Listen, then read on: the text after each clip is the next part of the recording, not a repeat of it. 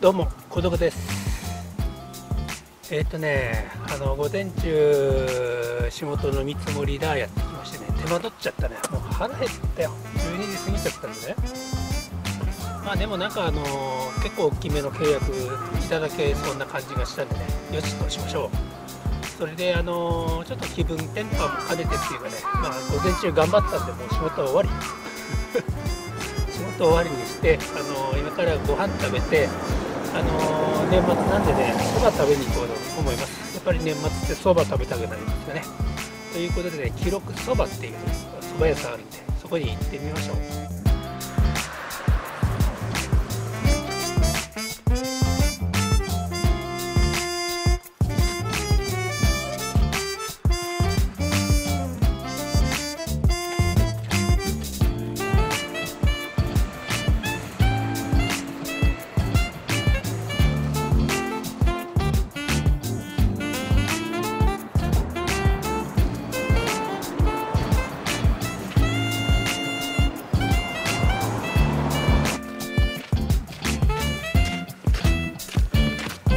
休みだよ休みでしたよ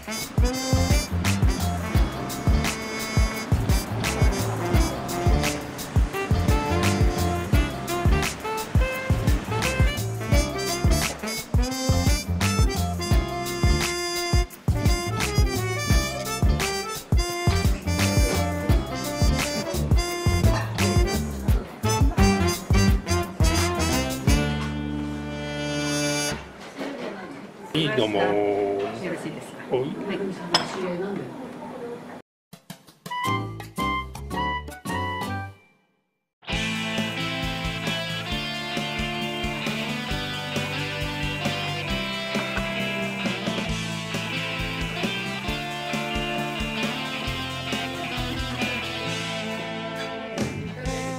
が頼んだのが天ざるでございます。薄衣のエビ天じゃなく蕎麦屋さん特有の衣でかさ増ししたやつですね。蕎麦はさらしなですね。より蕎麦の中心部に近い御前蕎麦に近いやつでございます。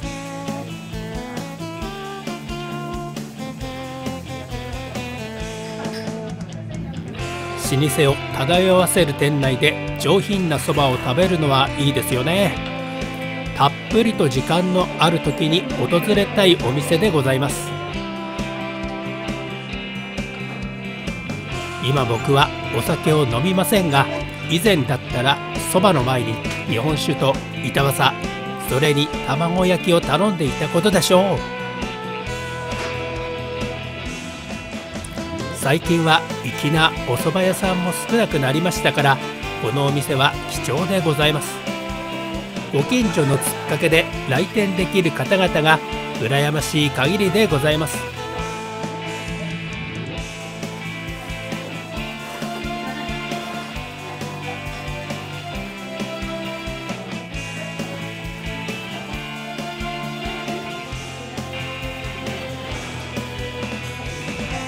あっという間に天ざるは中盤戦へと差し掛かりました。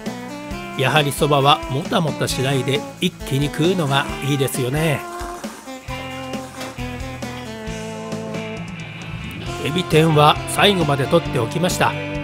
ほぼ衣で覆われた天ぷらも見ていて粋なものでございます。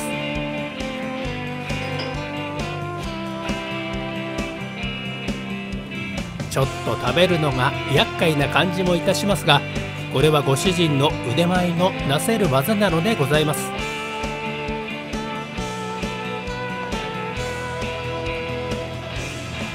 いいですね。いいですよね。蕎麦屋さんの天ぷらっていいですよね。こちらは常に新鮮な油を使っているようで衣自体が美味しく主役のエビを引き立ててくれます。同じかさ増ししたスーパーのエビ天とは全く別物でございます。揚げたてサクサクのエビ天を食べる至福の時間でございました。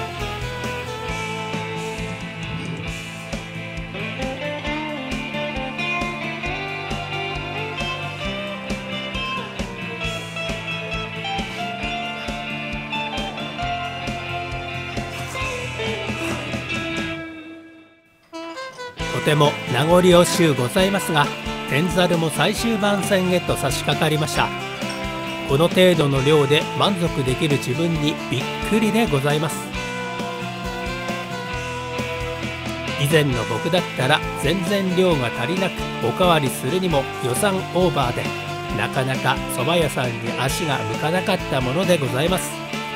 これから孤独は大人の息を楽しめるような年の取り方をしていきたいのでございました。